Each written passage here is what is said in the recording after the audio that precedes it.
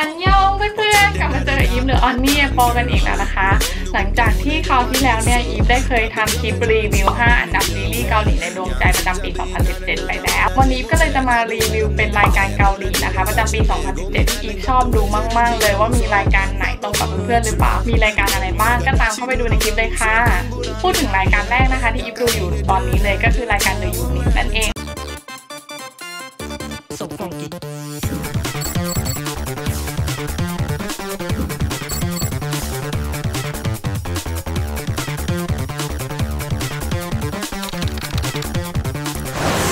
รายการนี้เป็นรายการเชิง survival นะคะ ก็คือเหมือนเขาจะให้ไอดอลหรือว่านักร้องเกาหลีอะที่เคยเดบิวต์แล้วอะไรอย่างเงี้ยแต่ว่าไม่ประสบความสำเร็จเท่าที่ควร แล้วก็มาลงแข่งขันในรายการนี้คล้าย ๆ กับพวกรายการโปรดิวหรือว่า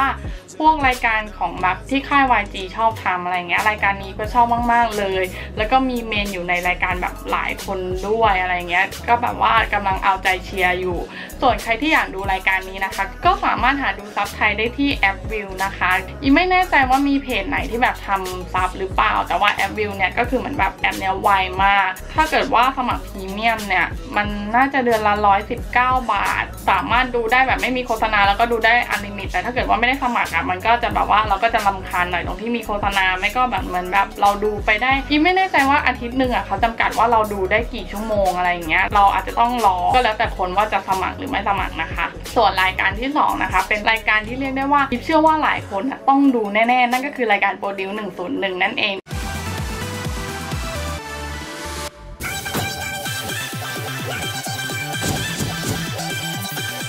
อันนี้เป็นซีซั่น2นะคะของปี 2017 ก็คือเป็นไอดอลผู้ชายนะคะ เข้ามาหาไอดอลตอนนี้ก็คือได้เดบิวต์แล้วเป็นวง Wanna One นั่นเอง ต้องบอกเลยว่าเป็นรายการที่แบบว่า คือตอนตอนประกาศผลนะอีฟดราม่าหนักหน่วงมาก คือเมนอีฟอะที่ชอบมากคือจงฮยอนใช่ไหมแล้วก็คิดมาตลอดว่าเขาต้องได้เดบิวต์แน่ๆ แล้วพอวันประกาศผลนะเขาไม่ได้ใช่ไหมคือพูดตรงๆว่าแบบว่า เป็นรายการแรกที่เราแบบรู้สึกเสียใจมากดูแบบดูแล้วเชียร์แล้วแบบร้องไห้อะคือแบบตอนประกาศว่าจงฮยอนไม่ได้เราแบบร้องไห้เลย แต่ตอนหลังเขาก็คัมแบ็กมาแล้วใช่ไหมเป็น NU'EST W อย่างเงี้ยก็เขาก็ประสบความสำเร็จแล้ว ตอนนี้ก็รู้สึกภูมิใจกับเขาแล้วก็คิดว่าจะติดตามวงนี้ไปตลอดคือแบบชอบมาก ส่วนวง Wanna One อะไม่ใช่ว่าคนที่เชียร์ไม่ได้ มีคนที่เชียร์แล้วก็แบบว่าติดในวงเหมือนกัน แล้วก็ติดตามวงนี้แบบก็ชอบเหมือนกัน ถ้าใครชอบดูแนวรายการ Survival อะแนะนำว่าของ YG จะมี Survival เยอะ แต่ก็ค่อนข้างแบบดราม่าดูแล้วมันก็บีบหัวใจหน่อย แล้วก็ของปีนี้จริง ๆ จะมีเหมือนแบบมิกนายด้วยที่เป็น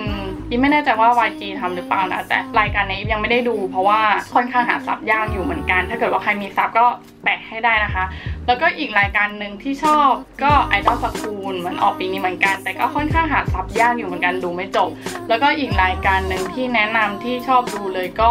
เออแรปเปอร์อ๋อ Show Me The Money รายการนี้ก็ดี ถ้าเกิดว่าใครสายชอบแรปอะไรอย่างเงี้ยอีฟก็แนะนำอะผ่านไปสองรายการแล้วใช่ไหมส่วนรายการที่ 3 ที่อีฟชอบดูมาก ๆ เลยที่แบบว่าดูมาตั้งแต่แบบประมาณ 4-5 ปีที่แล้วดูตั้งแต่ตอนที่ 1 แต่ตอนหลังๆจะไม่ค่อยได้ดู นั่นก็คือรายการ Running Man นั่นเอง ถ้าเกิดว่าใครชอบดูรายการที่แบบตลกฮาๆอีฟแนะนำเลย Running Man คือแบบว่าเป็นรายการที่แบบว่า ไม่ว่าเราจะเปิดดูตอนไหนอะมันก็ขำตลอดมันแบบว่าตอนนี้พิธีกรรายการอะ อาจจะมีแบบเปลี่ยนแปลงไปบ้างอะไรเงี้ยแต่เขาก็ยังหาอยู่ แนะนำว่าถ้าเกิดว่าใครหารายการอะไรดูอยู่ ไม่รู้จะดูอะไรอะแนะนำ running man ยิ่งตอนช่วงแบบตอนแรก ๆ สนุกมากเขาจะเป็นเหมือนแบบว่าคล้ายๆ เป็นเล่นเกมกันมีดึงป้ายชื่ออะไรอย่างเงี้ยมาพูดถึงรายการที่สี่ที่ดูในปีนี้นั่นก็คือรายการ Master Key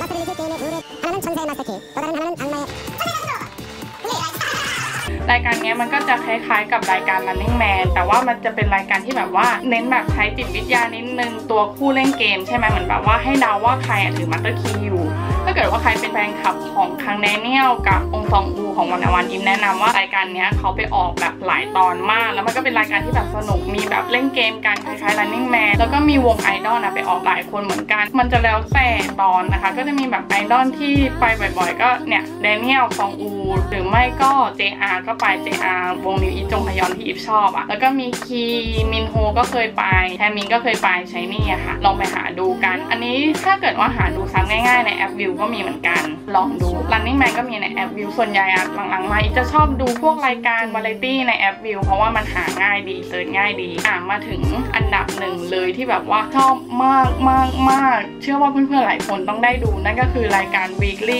Idol นั่นเอง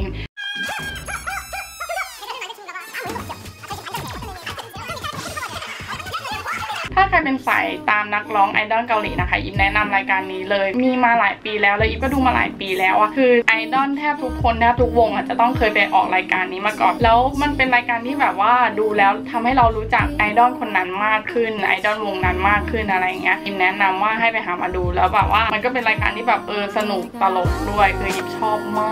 กแนะนำเลยค่ะรายการนี้ ค่ะก็ครบแล้วนะคะสำหรับรีวิวรายการเกาหลีอีฟชอบมาก ๆ เลยก็เลยคัดมาบอกต่อเพื่อนๆด้วยอยากให้เพื่อนๆไปดูกันเผื่อว่าช่วงไหนแบบว่างๆไม่มีอะไรดูซีรีส์ก็ยังไม่มาตอนใหม่ยังไม่มีอะไรเงี้ยก็เปิดดูพวกรายการพวกนี้ดูก็แบบสนุกแล้วก็บันเทิงไปอีกแบบนะคะ หวังว่าทุกคนจะชอบคลิปนี้กันนะคะ ใครมีอะไรติชมแนะนำอะไรเงี้ยสามารถคอมเมนต์พูดคุยกันได้แลกเปลี่ยนเรื่องราวหรือแบบแนะนำว่าแบบเออรายการนี้น่าดูนะซีรีส์นี้น่าดูนะก็แบบว่าบอกไว้ได้เดี๋ยวอีฟจะไปหาดูตามที่เพื่อนๆแนะนำนะคะ สำหรับวันนี้ต้องลาไปก่อนค่ะ บ๊ายบาย